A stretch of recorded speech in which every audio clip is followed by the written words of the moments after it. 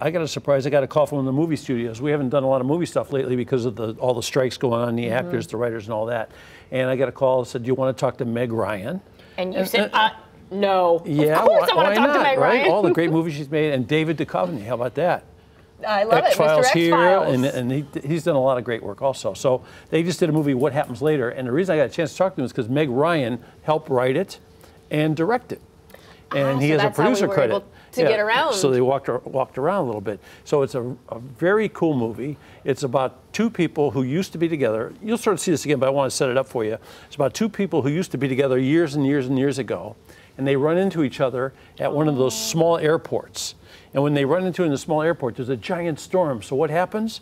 They get stuck at the airport. They get stuck at the airport, but almost everyone Fate else leaves. So the whole movie is just them together, sort of like so this is a rom-com kind of movie. yeah, then? yeah. Oh, it's sort I of like love these. rebuilding the past, and and you know you want them to get together, and then there's the sarcasm, and so I want you to check it out. So what happens later? Here, here it is. How have you been? Oh, for the last 20 years, 25, maybe. I've been 49 forever and ever and ever. Wow, lucky you. I feel like I've been in my 50s since my 20s. That's so true. you don't have to agree with me. Stranded with no way out, former lovers find themselves forced to rediscover a life long ago. Directed by Meg Ryan and co starring David Duchovny, What Happens Later pushes a lot of buttons.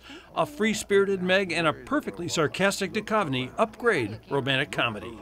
The way that Meg directed it, we got to really discover uh, an actor's timing in these long takes, long scenes, a lot of dialogue, and yet not a lot, not a hell of a lot of cuts. So our human rhythms are really playing out and not created in the cut, and that's that's rare. That's really the special effect to the real one of the the movie. Like, effects. how did we do? Like, it, it, it, it is. It's sort of like that's the thing where people ask, "How did you guys do that?"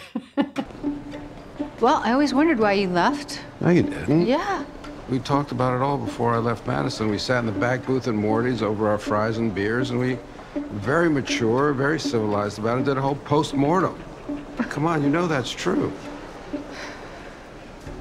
No. When people break up, there's the thing that they tell each other, there's the thing they tell their friends, and then, and then there's the truth.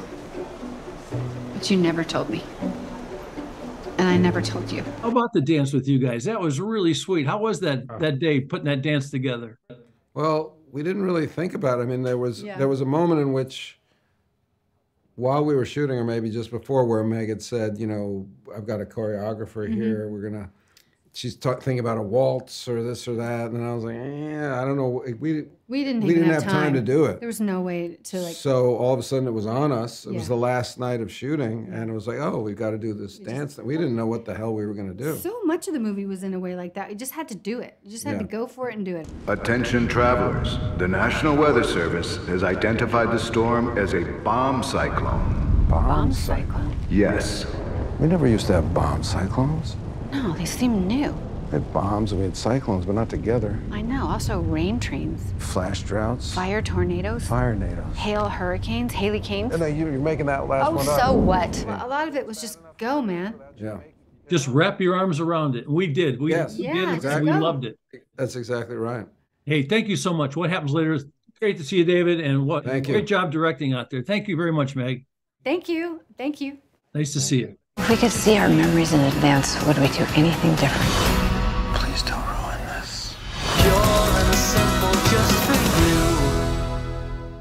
Meg Ryan is adorable. Dave Duchovny, I tell you, he's the master of sarcasm, and I really enjoyed this film. I think you'll like it a lot also. It opens at the Cedar Lee Theater. That's in Cleveland Heights tomorrow, so you might want to check it out there. A nice night out, and uh, for you folks haven't seen a good romantic comedy in a while, this will get you hooked all over again.